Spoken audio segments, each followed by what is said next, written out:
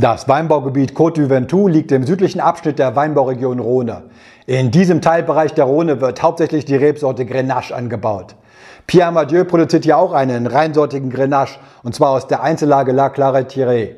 Ein Wein voller Frucht und natürlich der typischen Mineralität des Ventoux. Ein sehr saftiger und samtener Wein mit enormen Charme und viel rotbeeriger Frucht.